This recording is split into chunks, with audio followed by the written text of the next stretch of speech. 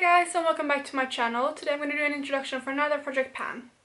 So this will be my first project pan that isn't including any makeup products because today I'm just going to focus on uh, hair care and skincare. So the first product is one that I've had for quite a while and that is the Pixi Glow Tonic. 5% um, glycolic aloe vera and ginseng. Um, I bought this a couple years ago now and I really really like this product. The only issue now is that I found more effective um, like acid peels that I like more. Um, so this one has kind of gotten neglected in my collection uh, but I have quite good progress on this at the moment. That is my starting point right there. So I can probably finish this off in a couple of weeks if I set my mind to it because recently I haven't used this at all and that's why I'm popping it into this project. So I have one more toner in this project and that is from Shea Moisture and it's the Africa Black Soap Problem Skin Toner. Um, and I bought this back when I lived in the States. Back then I used to have way more um, like breakouts and pimples and stuff. Since then my skin has really really cleared up and I don't really have that much issues with breakouts anymore.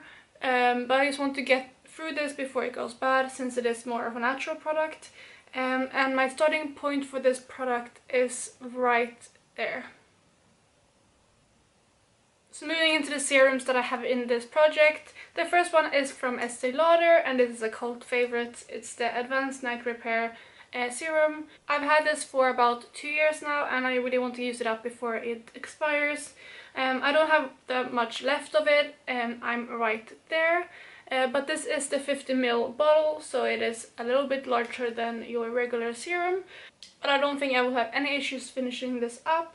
Um, I just kind of uh, gravitated towards other serums recently, so that's why I popped it into this project. So I have another serum that is kind of close to being done, and that is from Lancome, and it's the Energy de Vie um, serum. Uh, it says the smoothing and glow boosting liquid care, and as you can see, I don't have very much left of this either. And um, this is also a 50ml bottle, so it is again a little bit larger than your regular serum, but I don't think I will have any issues going through this either because I am quite close to finishing this already. So the last serum type of product I have is from Clarins and it's one of their uh, little like drops that you put into other serums or your moisturizer and this one is the Booster Detox. I honestly can't tell much of a difference when I use this product, but uh, I have it and I want to use it up before it goes bad. And my starting point on this product is right there. Um, and since you only use a couple of drops um, when you use this, I'm not sure how quickly I will be able to go through this. But I will make a mental note to try to incorporate this more into my routine. I have one eye cream that I want to finish in this project and that is the Kiehl's Midnight Recovery Eye uh, Concentrate and that is my starting point right there so again I don't have too much left of this but it's just one that I want to work out of my collection um, so that is the next product. So moving on to face masks, I have two from Origins and I'm gonna start with this one which is the Drink Up Intensive Overnight Mask and I am currently at that black line, so again I don't have much left of this, but recently I bought another kind of overnight mask um, and I found that I started reaching for that more um, and I just want to finish this off before I move on to that product because again I don't have much left of this. Another mask in this project is the Clear Improvement Mask um, and again, I don't have too much left of this, but this is one that I can't use as often as the Drink Up Intensive Mask, uh, but I will make a note to use this more often. Uh, I'm really bad at remembering to use masks um, in the middle of the week, so hopefully by putting this into the project I will try to remember to use them more often. So the last skincare product, if you can count it as that, is a lip balm from Figs & Rouge and uh, this is the Coco Rose um, Blush Pink Lip Balm, I guess. And this is my current progress, so you can see where I am right there. Um, I have about a bit over half of this to go. Um, and I don't know how fast I will go through this because you don't need that much when you use it. But I will put this in my makeup bag and try to remember to put this on every single morning when I do my makeup. So quickly before we move into uh, hair care, I have one fragrance that I want to use up. And this is a body spray from Victoria's Secret in the scent Incredible. Um, I bought this a couple years ago now and um, back then Victoria's Secret was all the hype um, and everyone wanted to try their body sprays. But I have two more of the, these, uh, but I like them way more and I'm just trying to use this up. And that's my starting point right there.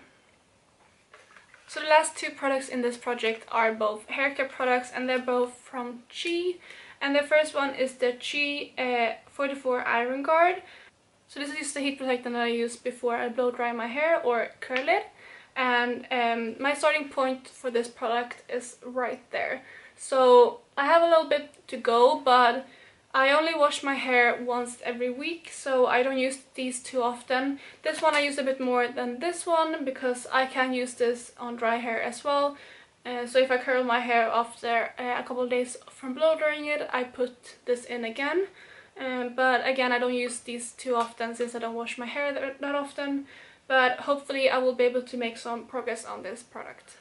And then the last product, as I said, is also from Chi, and this is their Straight Guard, and it's a smoothing styling cream, um, and this is also a heat protectant, I believe, um, but it's also more smoothing, and I used this uh, after I washed my hair, um, and I never used this really on dry hair, so this will probably take longer to use up than the uh, Iron Guard, but yeah, I'm gonna continue using this every time I wash my hair and my starting point for this product is right there. So those were all the products for this project pan. I'm not really sure what I will call it yet, but I'm sure you will see it back down in the title. Uh, but if you like project pan videos, please give this video a thumbs up and I will talk to you in my next video. Bye guys!